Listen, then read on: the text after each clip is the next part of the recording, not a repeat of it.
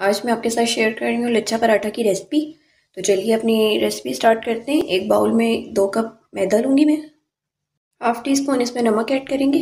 One tea spoon इसमें चीनी add करेंगे। टू टेबल स्पून इसमें ऑयल ऐड करेंगे। इन सभी चीज़ों को पहले हम अच्छे से मिक्स कर लेते हैं। देखिए, सभी चीज़ें अच्छे से मिक्स हो गई हैं। अब हम इसमें पानी डालते हैं और डो रेडी कर लेते हैं। जैसे हम आम आटा गूंदते हैं, इसी तरह से इसको भी हम गूंदेंगे।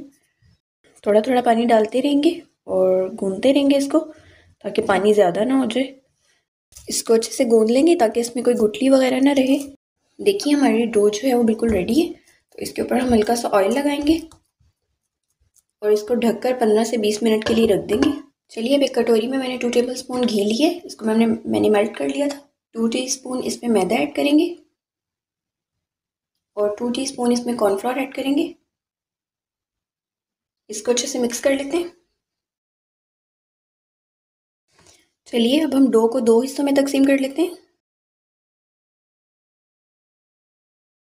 इसके लिए हमें बड़ा पेड़ा चाहिए, इसलिए मैंने इसमें इस डो में से सिर्फ़ दो पेड़े बनाए हैं। ऑयल अच्छे से लगा लेंगे।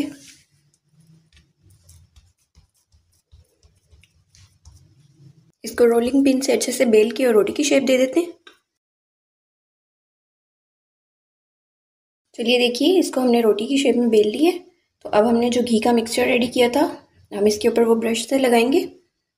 तो इससे क्या होगा कि हमारी जो परतें बनेंगी इसमें, जो हमारे लच्छे बनेंगे पराठे के, वो आपस में जुड़ेंगे नहीं। इसके ऊपर हल्का सा मैदा डस्ट करेंगे। तो अब हम इसे स्ट्रिप्स में कट कर लेंगे।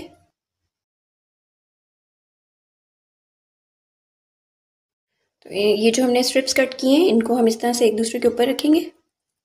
इसको दोबारा से इकट्ठा करके और फिर से इसका एक पेड़ा बना लेंगे। इसको हाथ से इस तरह थोड़ा सा बढ़ा लेंगे। इसका पेड़ा दोबारा से बना लेते हैं। देखिए, इस तरह से दोबारा से हमने पेड़ा बना लिया। तो अब हम इसको दस मिनट के लिए दोबारा छोड़ देते हैं। तो देखिए, जो हमने पेड़ा बना के रखा था, उसको हम हाथ की मदद से फैला लेंगे। चलिए, हमारा पराठा रेडी है तो हम इसे सेकते हैं अब। चलिए, मैंने अब एक पैन लिया, उसमें वन टेबल स्पून हमने घी डाला है। तो घी मेल्ट हो जाएगा तो फिर हम इसमें पराठा ऐड करेंगे।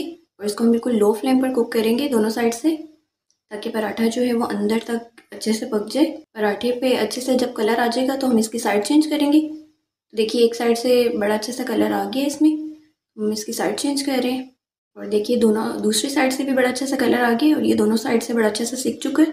तो हम इसे प्लेट में निकालते हैं। तो देखिए, हमारे मज़ेदार जो है वो लच्छा पराठा बिल्कुल बनकर रेडी है। तो अगर आपको मेरी आज की रेसिपी पसंद आई हो तो लाइक और शेयर कीजिएगा, कमेंट में ज़रूर बताइएगा। और अगर आप मेरे चैनल पे नए हैं तो चैनल सब्सक्राइब कीजिएगा। Thank you.